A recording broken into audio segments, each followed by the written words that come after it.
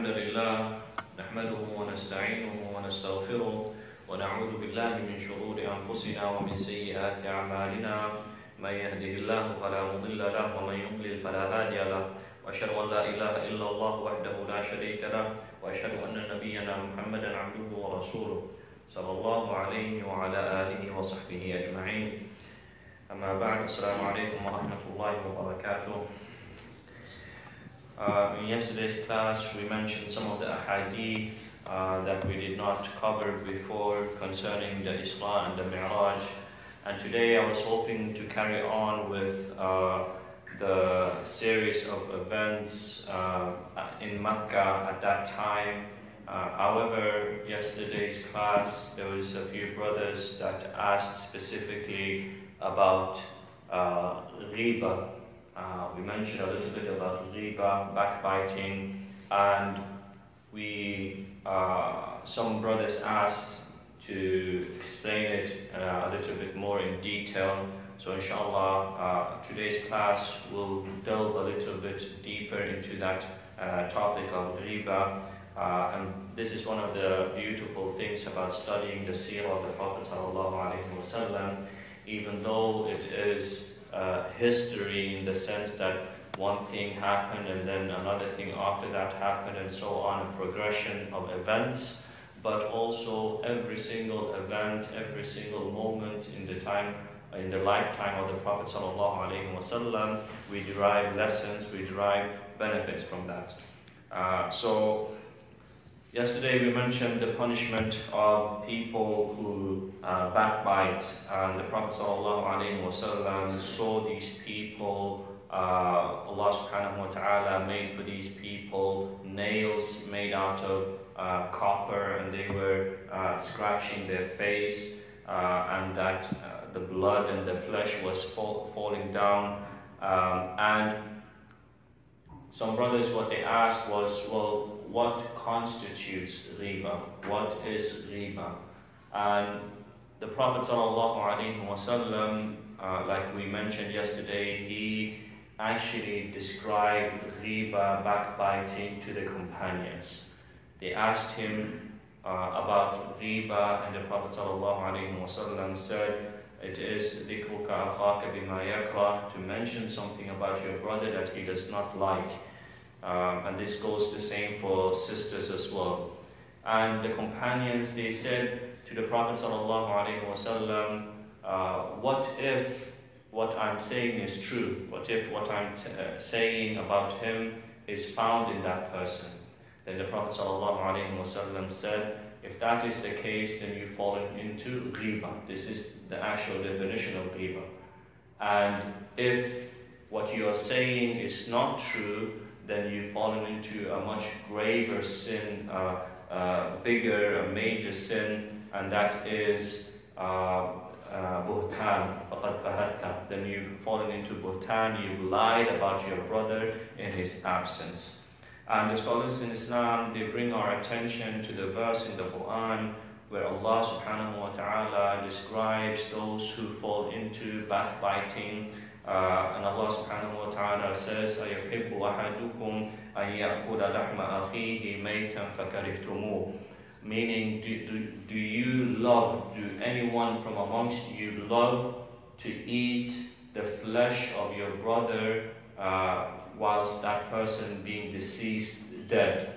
فَكَرِهْتُمُوهُ And Allah subhanahu wa ta'ala answers it uh, and says, you would have hated it. So the scholars in Islam, they say here, First of all, there's a mention of human flesh. Amongst almost all communities in the world, all societies around the world, eating human flesh is seen as something uh, repulsive, right? So Allah subhanahu wa ta'ala is saying eating human flesh. Not only that, the example that Allah subhanahu wa ta'ala gives here is not anyone's flesh, it's not the flesh of your enemy, but it's the flesh of your brother, lahma akhi. This is someone that was close to you, someone that thought he or she was your friend. But instead of protecting their honor, you spoke bad about them in their absence. Not even bad, you might have mentioned certain things that they were not comfortable with you mentioning. And then on top of that, Allah subhanahu wa ta'ala says, Maitan, dead. This individual is like as if he's dead. Why is he dead? Because the scholars in Islam they say, in the same way that dead people can't defend themselves People who aren't present there can't defend themselves. You could lie, you can say whatever you want about the person that is not there, and it is upon us as Muslims to defend the honors, the honor of our brothers and sisters. So, at the very least, if you happen to be in the company of people who practice this, who belittle these kind of things, don't think much of it, the very smallest uh, deed that you can do is to remove yourself from that. That you leave that person, you leave that gathering, and you walk away. But the be- that's not the best thing that you can do. The best thing that you can do is that you defend the person. You say, No, that brother or that sister is not like you said. I know good things about that person. And you try to mention good things about that individual. Uh, and one of the consequences sorry, one of the consequences of this evil deed is that on the day of judgment, when a person has uh, fallen into backbiting other people, they will have their good deeds taken away from them. They will have their good deeds taken away from them. So you might come on the day of judgment with a lot of good deeds, and you've fallen into this major sin of backbiting, talking about people, then on the day of judgment, this person will come up to you and he will take some of your good deeds, and this is a true loss. Uh, so much so that the pious people before us, whenever they would hear about someone speaking bad about them in their absence, do you know what they used to do? they would actually go up to that person, some of these scholars, they would go to the person's house, knock on the door, and they would give the person a gift. And the person would be shocked. Why are you, why are you giving me a gift? And the scholar would say, This is in return for the hasanat that you have given me. You spoke about me behind my back, I don't have anything to reward you with. This is the gift, and you've given me hasanat. But another thing that is important to mention is that ghiba, backbiting, often goes along with other sins. One of the major sins that backbiting goes along with is something known as namima. Namima means, in simple terms, a person who takes speech from one individual and takes it to another individual. He spreads uh, sometimes lies, and sometimes he wants, he tells the truth, but his intention of telling the truth is to cause fitna, is to cause problem between people. And the Prophet ﷺ warned against these type of people to such an extent that he said, that no namam, no one who falls into this type of sin will enter Jannah. So this shows us how dangerous it is. Because sometimes people, they, they might not backbite, right? But they happen to be in the gathering. So they hear that these people are talking bad about someone. So what they do is they take that speech and they go to someone else, or they go to that particular individual. And the reason why they pass on that information is not to help the person, they don't have the person's best interest at heart, they just want to create more problems. So they go to that person and they say, Do you know what so and so said about you? You weren't there, but I was there. And I heard that they said this and that about you. Even though the person might be telling the truth, but that sort of action leads to more problems. And scholars in Islam have said this backbiting and this namima, when it becomes evident, when it becomes uh, common in a group of people in a society, it is one of the signs of the destruction of that society. Meaning that if they don't change, if they don't do anything about it, it leads to a lot of fasad, a lot of destruction. And the best example we have of that is mentioned to us in the Quran. The story of Aisha radiallahu anha. How people saw something. No one saw the actual crime that they accused her of. No individual. But they saw something and they added to that and they added to that. And the munafiqun, the hypocrites in Medina at that time, they took advantage of this. And they added fuel to the fire. But it wasn't only the munafiqun that fell into this uh, sin. A lot of good companions. Why did they fall into that sin? Because they didn't think twice. They didn't make sure to uh, verify the news. They heard something and they passed on that. And Allah subhanahu wa ta'ala in those verses in Surah An-Nur, He urges these type of people to repent, showing us that they did something wrong.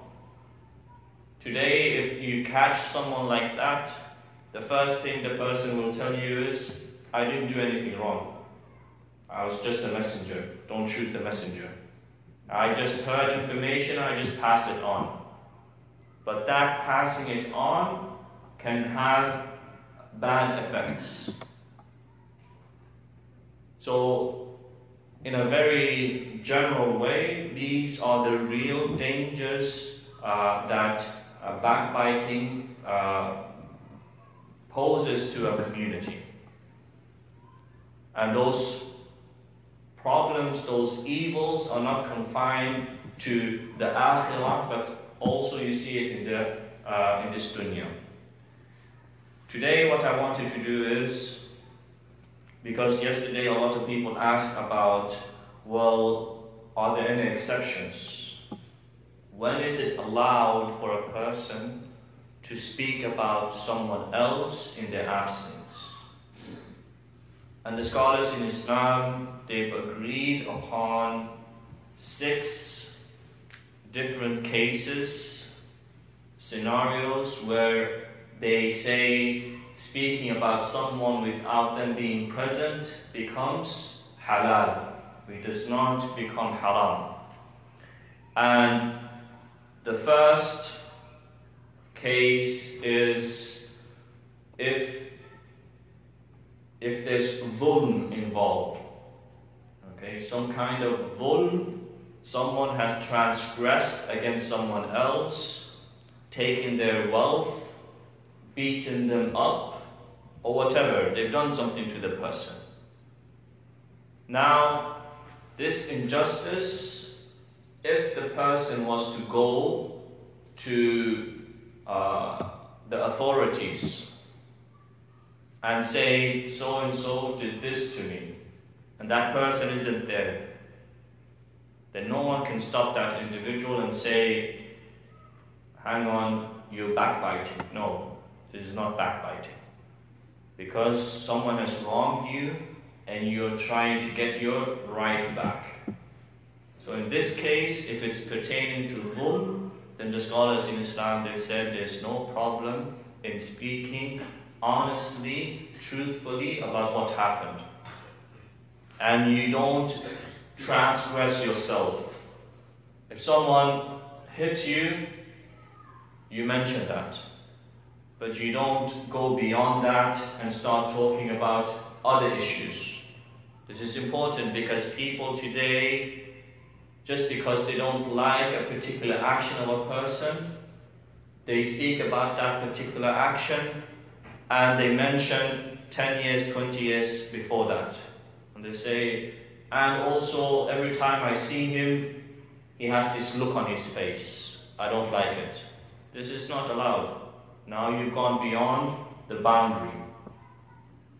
The other point that the scholars in Islam mention is if a person is asking for a fatwa. What type of case? Let's say there's a problem amongst a husband and a wife. They go to the sheikh, they go to the imam, they go to someone that has knowledge in the matter.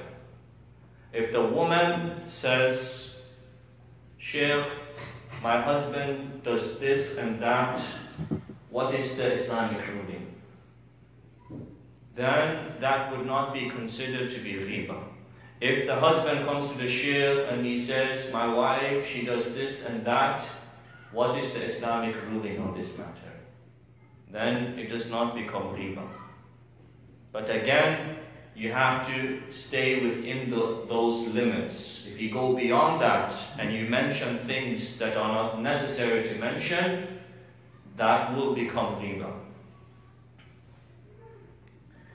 Another point uh, scholars in Islam mention is if you see evil being committed, people are committing evil, and you don't have the ability to stop that evil yourself, then it becomes permissible for you to go to someone that has the ability to help you and you tell that person, I've seen these people or I've seen this type of activity happening, let's go and do something about it. By you telling them does not mean that you're falling into backbiting.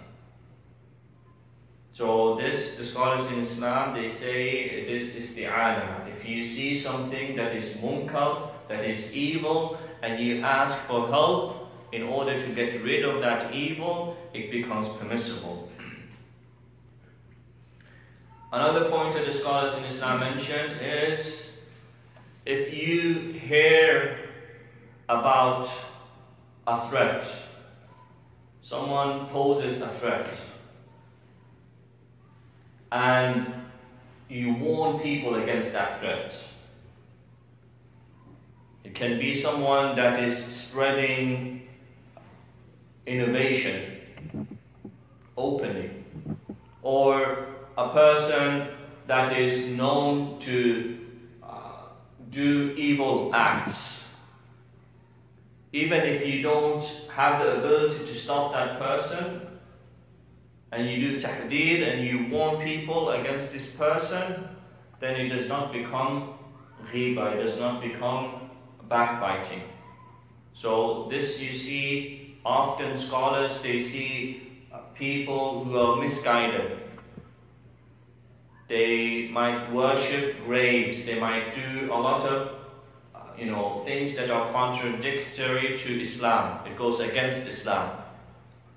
If a scholar based upon knowledge, warns against these people and say, because of these practices, stay away from these individuals.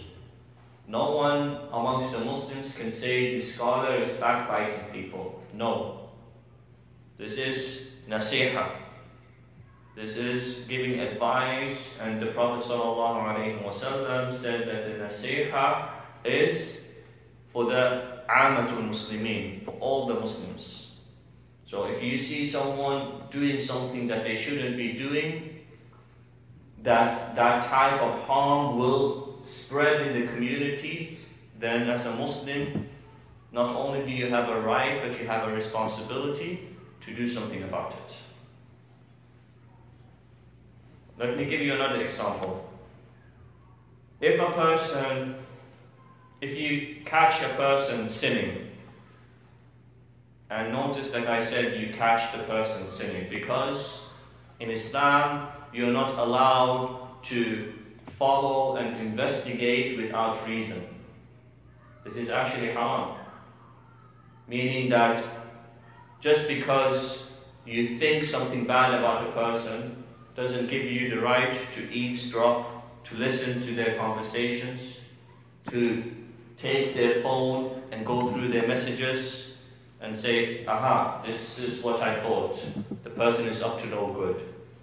Or go through their computer and say, the person was up to no good. This is not allowed in Islam. But let's say you happen to come across the person. Now, if this evil is something that affects the community, then you can warn against that person. But if it's something that the person is struggling with on a personal level,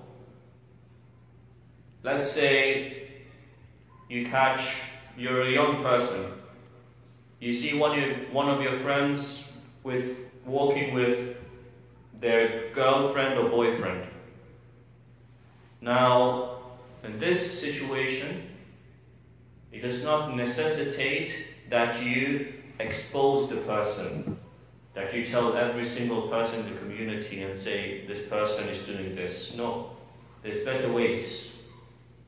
And the best way is to take the person to the side, try to explain to them why it is haram. Because Islam is not about exposing people. Everyone has sins, but the point is to try to help the person become the best Muslim that they possibly can be. And this is important. In the same way, the scholars in Islam they say the other point when ghiba does not become ghiba is if a person is open about their sins. Mujahiran bil. The person is open, they brag about it. And we see it today on social media. People, they take pictures holding, you know, alcoholic bottles, smoking, weed and drugs and so on in public. Then in that case, based on those circumstances, if you warn against a person, then it doesn't become a sin. This is important. And just as a reminder to all of us, when we, when a person sins, the Prophet ﷺ, he said that every human being will sin. And the best of sinners are those who repent. However, there's a difference between the one that tries to hide their sin and they feel bad about it and they repent and they do good. And the one that doesn't care and makes it public. This is why the Prophet ﷺ said that all of my ummah will be forgiven their sins except for the mujahirun, those who expose themselves. And the scholars they said it is like the person whom Allah subhanahu wa ta'ala covered in the darkness of the night. Usually, just as a general statement, a lot of sin happens during the night because there's darkness, there's, you know, people are sleeping, and usually the people that are awake at that time, a lot of them are not up to much good. So, subhanAllah, Allah subhanahu wa ta'ala sheltered you. He hid your sins. No one else knows about your sins. Just you and Allah. And instead of you repenting and returning back to Allah and asking Allah for forgiveness, the next morning what you do is you boast about it. You go to people and you say, Do you know what I did last night? I did so and so. For many of us, this type of speech, it sounds strange. Why would someone do something like that? But for a lot of young people, they might fall into this type of sin without even realizing. Again, you go on Twitter and you mention how amazing the party was last night. And you mention the details and you mention and you mention. This becomes the same as the person who boasts and exposes himself, even though Allah subhanahu wa ta'ala was hiding your faults. And that leads us to the last point.